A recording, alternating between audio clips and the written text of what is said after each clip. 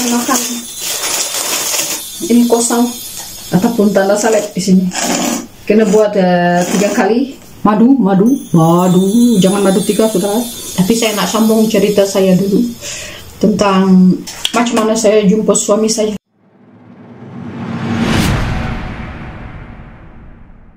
Morning guys, saya baru lepas uh, ambil uh, apa tu? Eh beli bread dekat bawah. Sekarang saya baru sempat nak sarapan pagi. Dan minum likore saja guys. Sebab saya tak boleh minum kopi so saya minum likore sahaja. Okay, saya beli bageta dan sedikit kosan Okay, ini saya punya bageta saya beli banyak guys. Sebab ini untuk untuk saya punya husband jadi saya jarang makan bageta saya akan makan. Ini kosong. Kosong saya beli tiga. Saya akan makan. Dan uh, ini ada dua. Satu jenis lagi uh, ini kosong uh, sejenis kosong juga. Dia dengan uh, coklat di dalam. Uh, coklat di dalam. Okay. ini untuk ini makan di sini actually ada ada peraturannya juga kalau kita nak potong uh, bread ataupun ini bageta sebab uh, itu terlalu ancient jadi kita tak guna sekarang. Kita kena buat uh, uh, cross ataupun tanda salib di sini. Kena buat uh, tiga kali. Lepas tu kita baru potong. Dan jangan sekali jangan sesekali kita potong terbalik macam ini kita tak boleh terbalikkan. Kita kena potong exactly macam ini. Jangan cakap orang putih tak ada pantang larangnya. Orang lagi banyak pantang larang tapi um, orang sengaja tak apa tu dia sengaja tak tak gunakan. Kalau pantang larang dari dulu memang banyak eh. Saya hanya suka makan dia kalau dia masih kalau baru dibeli kalau sudah 2-3 hari ya dia macam batang kayu. Keras. So yang hmm, kalaunya saya letak butter. Ini bukan butter ini margarine butter juga boleh sebab saya tak suka butter sebab terlalu keras. Dan saya letak macam ini saja.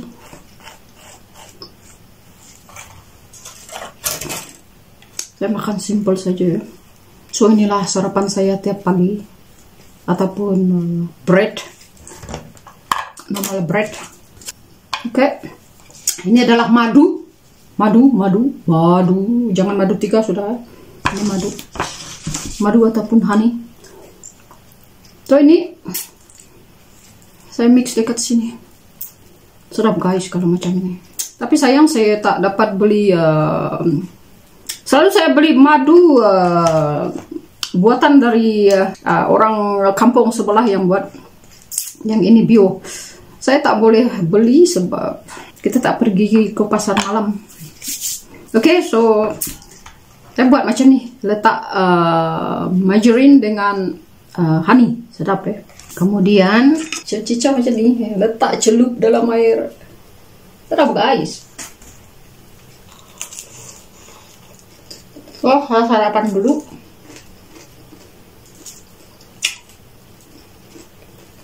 Agak keras tapi oke. Okay.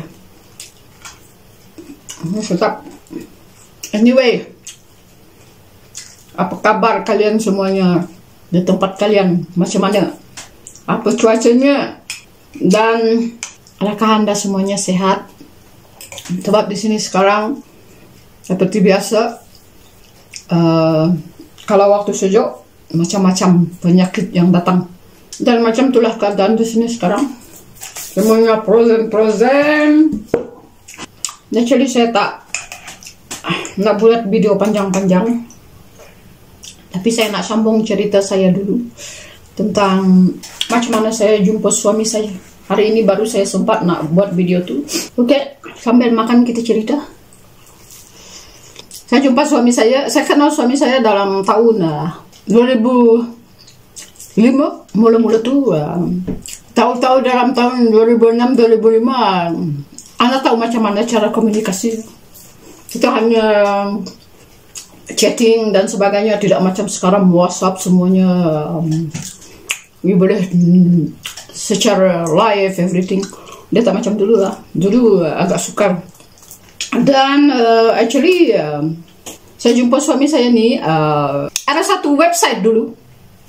Website tu dia orang panggil uh, what is the name? Macam uh, program mencari jodoh. Uh, saya tak tahu uh, saya suka join uh, benda-benda macam ni. Join hanya untuk suka-suka. Dan uh, waktu tu saya join uh, satu uh, uh, page ataupun uh, website uh, Matic or something like that. Saya pun tak ingat. So saya um, fill up uh, di sana apa apa yang jenis lelaki yang you nak lalalala lalalala fill up semuanya berapa umur you nak then uh, dan sebagainya.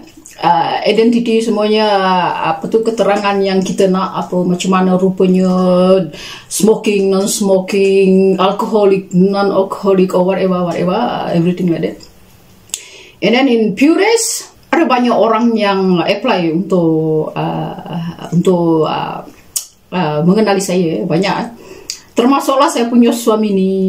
Dan uh, from uh, maybe more than 20 or more than that uh, saya cek semua uh, latar belakang mereka biodata mereka dan sebagainya. Saya cek semuanya. Apakah dia menepati uh, karakter yang saya nak? Jadi uh, saya hanya pick up dua, tiga atau empat orang macam tu. Dan from that saya in touch with both of them semuanya. Dan dari empat ataupun lima mereka tu saya cuba in touch. Seperti biasa kebanyakan mereka hanya untuk uh, take advantage orang cakap. Ataupun mengambil kesempatan uh, dari kita. Dan orang-orang macam ni saya tak layan. Saya hanya chatting dengan dia orang dua tiga kali macam tu. Dan bila karakter yang saya tak suka keluar bam directly block. Dan sama juga dengan yang others. Dan lastly saya hanya pick up saya punya satu orang ni saja.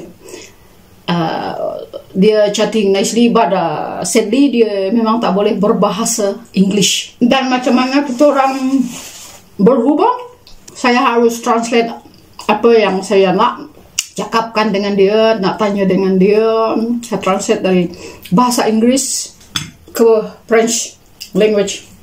So macam itulah kita berkomunikasi sehingga berbulan-bulan semuanya macam macam tu. Dan lepas tu dipendekkan ceritanya dah bertahun bertahun-tahun kenal macam tu. So seperti biasa walaupun tak pernah jumpa dia tapi um, kita boleh tengok karakter dia memang bagus. Setahun lebih saya kenal dengan dia. So kita in touch in touch uh, every day chatting la la la la la la la. So dia juga uh, orang yang baik. Dan lepas tu kita bincang ataupun kita decide untuk berjumpa. Uh, I think uh, dalam setahun lebih sudah saya kenal dengan dia. Sudah chatting dan sebagainya. Dan kita decide untuk jumpa. So Dia kirim uang lebih Dengan saya. Saya tidak mengeluarkan satu sen pun uh, Duit Untuk uh, jumpa dia dekat uh, sini dekat Paris so kita buat plan dan sebagainya. Belilah semuanya apa keperluan dan sebagainya. So untuk saya untuk saya pergi uh, ke Paris ya. Saya jumpa dia di airport Paris sana. Dan kita jumpa hanya berbekalkan uh, uh, foto. Berbekalkan foto dan mean cuma kita mengenali Ah, sesama sendiri melalui gambar yang dikirimkan ya. So kita hanya seperti biasa kirimkan gambar uh, surat undangan. Dulu kita kena uh, buat surat undangan ya kalau kita nak ke mana-mana. Sebab waktu tu ada banyak human trafficking.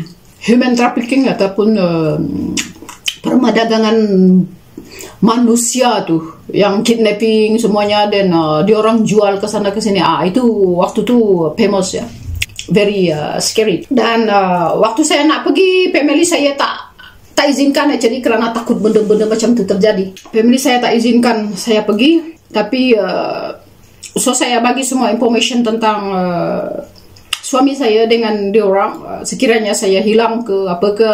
So you orang ada report untuk semua ni dapat mencari saya di mana saya berada dan sebagainya. So saya bagi semua info tentang dia. Dia pun tak kisah. Saya bagi dia bagi dia sertakan semuanya di mana alamat dia tinggal dan sebagainya dan uh, dari situ kita boleh tahu bahawa dia memang betul-betul ikhlas jadi uh, akhirnya family saya lepaskan saya untuk pergi sebab saya pergi seorang diri ya and then uh, dalam dalam keadaan yang agak membimbangkan kerana first time saya ke keluar negara seorang diri. Bila tiba masanya kita saya pergi ya, so saya pergi macam biasa. Dan uh, dalam perjalanan tu agak sukar sebab first time kita jalan jauh.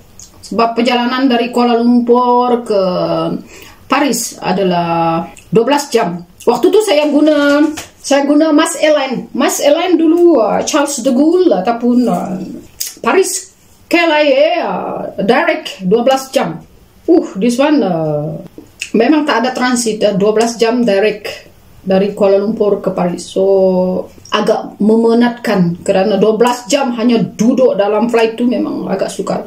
So saya pergi ke Paris, dia tunggu dekat Paris. Luckily uh, pertama kali saya tiba tak ada masalah. Saya enter Paris nicely. Custom hanya tanya dia cek semua information saya saya bagi apa yang uh, suami saya sertakan untuk saya um, ada surat uh, like invitation invitation uh, letter dari sini so semuanya itu memudahkan uh, perjalanan saya ya uh, jadi kalau nak ke mana-mana uh, for the first time uh, kalau orang invite you ke kawan invite you uh, better to do uh, like uh, information letter tentang kemana destinasi kamu dan siapa yang mengambil kamu ataupun menunggu kamu di suatu tempat tu. Uh, itu lagi memudahkan perjalanan kita. Itu uh, apa yang saya buat macam tu dan uh, saya lepas dari custom dan sebagainya. Dia hanya tanya satu pertanyaan saja dari saya, you nak jumpa siapa? Saya cakap saya saya nak jumpa ataupun bertemu dengan uh, saya punya bakal tunang. Dia itu custom tanya lagi uh, ataupun polis dekat airport tu dia tanya, you ada return ticket tak? Return ticket that mean tiket untuk balik kembali ke Malaysia. Ah, uh, ya saya cakap saya ada dan saya bagi semua info tu and then uh, macam tu saja sekilip mata okay you can go. Bila saya keluar saja dari uh, dari tempat bagasi di mana kita ambil bagasi dan sebagainya uh, saya boleh nampak sudah saya punya suami depan tu. Dia depan-depan sekali. So saya tak susah untuk mencari dia macam itulah ceritanya. Kita jumpa di sana dan kita balik ke rumah dan kita kenal family-family dia di sini. So one year plus macam tu saya kena stay dekat sini three months. Then I go back to Malaysia. Pergi balik pergi balik ulang alik Paris Malaysia Paris Malaysia. Saya rasa dalam dalam dua tahun saya macam tu. Dan ini kerana kita agak sukar kerana kita apa tu proses untuk kahwin tu agak sukar. Saya kena balik Malaysia sebab saya kena berurus dengan embassy French dekat situ dan juga um, dokumen-dokumen penting untuk untuk rakyat Malaysia yang ingin berhijrah dan sebagainya. Uh, itu agak menyulitkan sekali kerja-kerja sebab uh, terlalu banyak masa yang terbuang, terlalu banyak duit yang digunakan. Tak tahu uh, orang punya uh, apa tu cara macam mana sekarang kita kena translate kita punya identity apa tu surat beranak. Apa-apa pun kita kena translate ke bahasa Inggeris eh, dari bahasa Malaysia ke bahasa French. Dan di sini kita kena bayar translator untuk yang translate paper surat beranak dan sebagainya sebagainya tu. Eh, bukan mudah eh. Ini semua kita kena translate ke bahasa Prancis dan pembayarannya boleh tahan. Mahal eh untuk translate. Itu saja mahal hanya kerana dulu mungkin uh, the problem uh, you memang boleh translate di Google sendiri tapi masalahnya cop tu dari kerajaan. Tak boleh nak tipu-tipu. Kalau tipu nanti kita kena buat lagi. So kita kena buat semua ikut semua prosedur tu step by step. Uh, kita kena berkomunikasi dengan embassy, embassy dekat sini dekat Paris dan embassy Malaysia di Kuala Lumpur dan juga embassy Perancis di Kuala Lumpur dan sama juga dekat sini kita kena berkomunikasi dengan apa tu uh, kita punya master dekat sini pegawai pejabat daerah dekat sini. Itu untuk urusan perkawinan bukan semudah itu, tidak semudah itu. You kena perlu banyak duit, banyak masa. Sebab uh, saya cakap banyak duit sebab urusan dia tu ke hulu ke hilir semuanya duit, dia tak ada yang free. Dan uh, pembayaran-pembayaran tu agak banyak. Eh. Uh, hanya untuk uruskan uh, dokumen-dokumen untuk perkawinan. Belum lagi majlis perkawinan. Majlis perkawinan tu uh, saya buat simple saja. Saya tak saya tak suka buat uh, majlis-majlis uh, yang besar-besar. Saya terus terang saya cakap kalau majlis-majlis macam ni tak perlu nak meriah-meriah. Yang perlu meriah adalah hati kita. Meriah dengan uh, kesetiaan, meriah dengan uh, kasih sayang dan sebagainya. Dan bila kita punya semua kemeriahan kasih sayang, kesetiaan tu dengan pasangan kita, sedikit pun uh, majlis tu kita lakukan, asalkan kita bahagia. Dan bila majlis uh, yang kecil-kecilan tu selesai kita selesai semuanya secara bersih. Dan uh, perkahwinan tu berpanjangan. Saya dengan suami saya so far memang kita tak ada dikurniakan uh, zuriat. Tapi at least uh, kita tetap setia dengan uh, pasangan. Dan uh, masalah zuriat ni uh, itu Tuhan yang menentukan. Dan sekiranya kita memang setia dengan uh, kita punya pasangan cukuplah satu. Macam itulah cerita saya pertemuan saya dengan suami saya secara singkat ya tapi memang macam tu. I'm happy with him. Walaupun uh, kehidupan uh, seperti biasa kita bukan kaya dan kita juga bukan uh, orang yang termiskin. Sederhana tapi at least kita hidup bersama. Daripada hidup sendirian lebih baik berdua. So kita hanya perlu menjaga di antara satu sama lain. Dan so far perkahwinan saya dengan suami saya sudah menjangkau. Saya dari sudah tetap di sini dalam tahun 2008 uh, macam tu dan I'm happy to be here seperti yang anda lihat di blog-blog saya I'm happy pergi ke gunung mencari cendawan. Saya pergi ke mana saja saya suka. Uh, dan uh, itulah rutin harian saya di sini. Saya suka ke hutan di sini sebab hutan di sini cantik. Eh. Itulah ceritanya tentang pertemuan saya dengan suami saya. Anyway, uh, saya akhiri uh, cocok-cocok-cocok saya di sini sebab kalau nak cerita sampai uh, next year pun tak habis ya. Anyway, saya happy di Perancis kerana di tempat saya tinggal ni adalah perkampungan yang di pegunungan di mana kalau musim salji ataupun musim sejuk di sini memang paling sejuk sekali. Dan kebanyakan uh, orang-orang yang tinggal di kampung ni kalau dalam musim sejuk dia akan berpindah ke rumah-rumah mereka yang jauh dari pergunungan. Maksudnya di tempat yang lebih panas. Dan uh, bagi saya saya suka dekat sini apapun musim di sini saya tetap di sini dan musim panas saya lagi suka sebab saya banyak aktiviti di luar sana termasuk uh, terutamanya mencari cendawan dan sebagainya itu memang aktiviti saya dan uh, bagi yang bagi sesiapa yang baru menemukan channel saya jangan lupa like, comment, dan subscribe dan tengok video-video saya yang selanjutnya ya dan bagi sesiapa yang sudah memang sudah lama bersama saya. Thank you very much. Actually, saya sudah monet dan uh, saya sudah terima surat cinta saya. Uh, ini uh, saya terima sebelum satu bulan pun, tak sampai satu bulan pun ya. Uh, laki sebab dia tak banyak songeh orang di sini. So saya sudah terima. Anyway, thank you very much to Google Adsense dan sesiapa yang sudah menyokong channel saya, support channel saya, thank you very much. Dan saya harap kita akan teruskan perjuangan kita sebagai YouTuber bersama-sama. Terima kasih sekali lagi kepada sesiapa yang sudah menyokong channel saya. Dan uh, kita jumpa lagi di next video. Now. Ciao, ciao.